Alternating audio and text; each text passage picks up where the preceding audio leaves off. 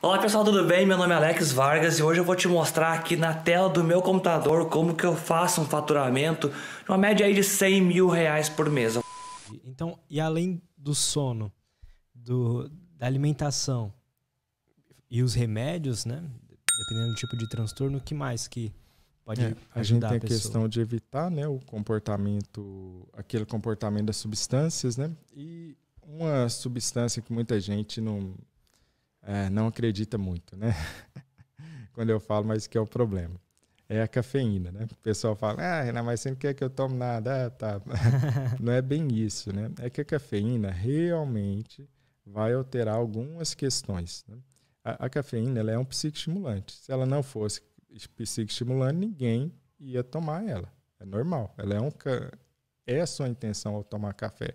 Ou pelo menos deveria ser. Até uma psicoestimulação. Se você está tomando café para acalmar, você está tomando a substância errada, não vai funcionar. Né? Só que a cafeína, o que muita gente não sabe, é que ela vai ter um tempo médio no corpo de 7 horas. Então não é, ah, mas eu tomei café 5 horas da tarde e não me atrapalha em nada em sono.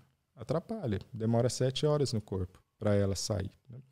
Sendo que para diferentes pessoas vai ser diferentes tempos de metabolização. 7 horas é a média. A mulher tomando anticoncepcional, isso vira 10 horas. A mulher grávida vira 12 horas. Né? Então a cafeína ela tem Caramba. uma diferença. Né? E o que, que a cafeína faz? Basicamente, no nosso corpo. Ela acelera o coração, acelera a respiração e pode piorar a ansiedade. Então, uma pessoa que é ansiosa, ela precisa cuidar da sua ingestão de cafeína. Se a pessoa tem crise de pânico, ela precisa cuidar. Na verdade, se você tem crise de pânico, você tem que zerar o seu café, porque a cafeína claramente é um gatilho para a crise de pânico. Se você não tem problema com ansiedade, provavelmente é tranquilo de você tomar aí uma, duas xícaras de café no dia, não vai te prejudicar, dependendo do horário que você está tomando isso. Para o sono, ela definitivamente vai prejudicar. Por quê? O mecanismo do, do café é o quê? Ele bloqueia.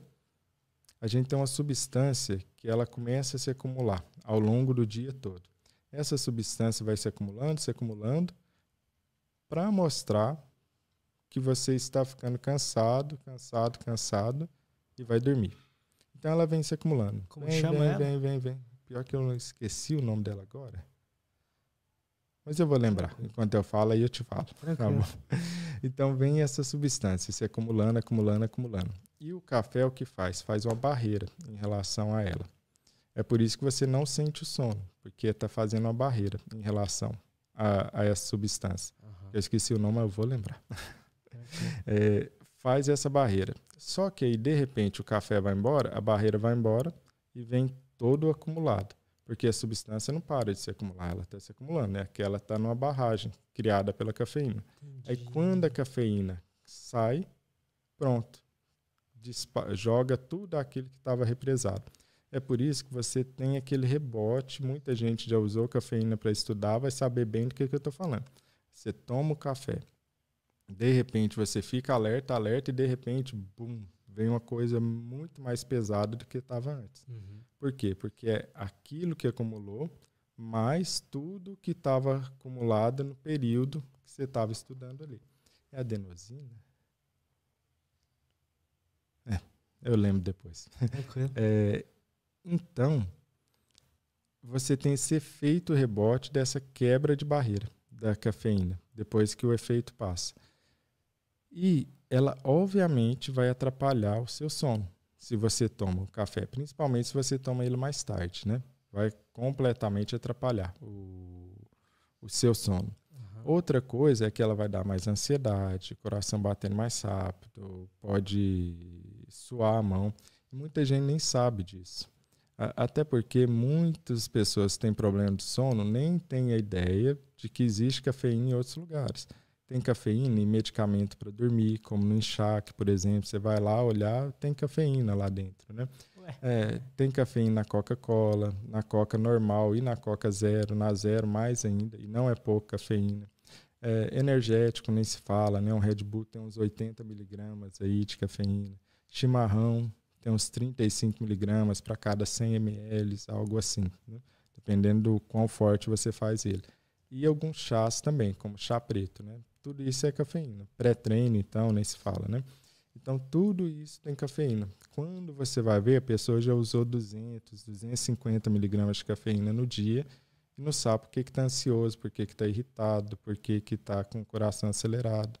Provavelmente pela quantidade de cafeína que essa pessoa utilizou ao longo do tempo. Né? Uhum. Então, Eu acho que é adenosina, hein? o nome da substância. Procura aí no Google, vê se é adenosina mesmo. Vê aí, Du. o... Cafeína então, bloqueia adenosina ou não? Vamos ver. Então, o ca... isso é foda, porque café é... me parece tão útil. Pode ser, pode ser. Pelo menos para mim, assim. Mas eu, é, você falou, eu falei, caramba, é verdade, né? Tem dia, sei lá, cinco, seis xícaras de café, eu fico muito ansioso. Uhum. E eu não tinha feito essa ligação ainda. É, isso não é, é nada de nada de doença nem patologia nenhuma. Todo mundo vai ficar mais ansioso com 5, 6 xícaras de café. Porque se for expresso mesmo, vamos supor que tem uns 30, 40 miligramas, né? Então, 5 xícaras já foi para 200. 6 xícaras, 240. É, é quase impossível o ser humano não ficar mais ansioso com 240 miligramas por dia. Aí já é uma barreira mesmo, assim, né? O que daria aí dois energéticos e meio por aí, né? Porque é a função da substância é essa.